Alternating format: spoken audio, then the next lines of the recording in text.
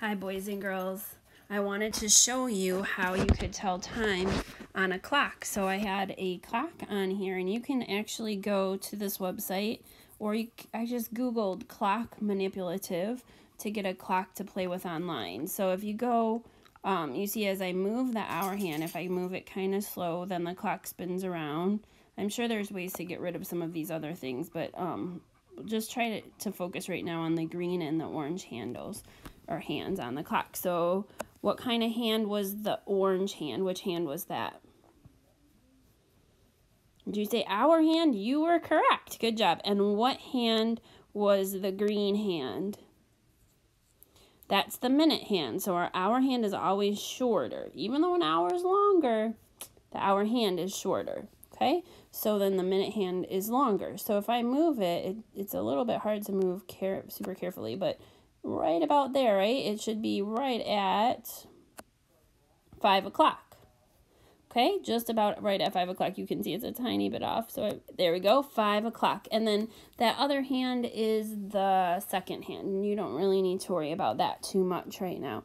So if I'm going to try to tell time, we went around and we would go, um, I'm going to move the minute hand. This would be at the 5, 10, so you have to count, right? 15, 20, 25, 30, 35, 40, 45, 50, 55, and then we go back to the hour.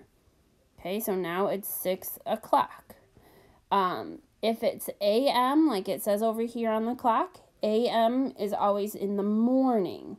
Then p.m. is going to be in the afternoon. Good job. So a.m. and p.m. So at school, we eat lunch in the afternoon, so that would be p.m. When you get up in the morning, it would be a.m. You eat your breakfast a.m. Okay? So it, it flips at noon to go to p.m. And then it flips at midnight to go to a.m. So let's try, let me put some, um, let me practice a little bit with you. So we're going to count by fives. Ready? 5, 10, 15, 20, 25, 30, 35, 40, 45, 50, 55, and then we're at the hour. Okay, and you saw that as I was moving the minute hand, the hour hand was also moving, but it takes the hour hand longer to go all the way around the clock because it only moves this small distance in one hour. Look at how fast that minute hand moves compared to the hour hand. That's pretty cool, right? Okay, so if I put the clock time in between in between the 5 and the 10, then I have to count these little dots in between. So sometimes when you ask me what time is it, I might be estimating because I might not be counting the dots super carefully. I might be estimating, oh, it's actually 12. Well, this tells me on um, digital time over here, it tells me right away it's 12.08. But if I'm just looking at this clock and it's up on the wall, I might estimate and I might say, oh, it's about it's about 10 after 12. I might say, well, this is where we're at. It's quarter after, right? It's 12:15. If it's like right here, I might say, oh, it's about 12:15. Remember we talked about this would be a quarter and this would be a half. This would be 3 quarters or 15, 30, and 45 right? 15, 30, and 45. You're skip counting by 15, and then you get back up here and you're at 60.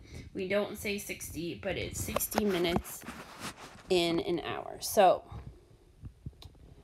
um, this might be a good thing to practice if you have some um, time, maybe some, huh, some time. Maybe somebody could show, put this clock up here. Maybe you could take this off Oh, if I do that, it all goes away. Okay, so you could take that off. There's also on this site other things to practice. There's like two clocks. Um, oh, the two clocks are to show um, a couple time. Excuse me. There's fractions. There's all sorts of things on this website. So if you want to check it out, you can. I've not looked at all of the things. I literally just got that one. All right. Okay, well, I'll post this later so you can practice.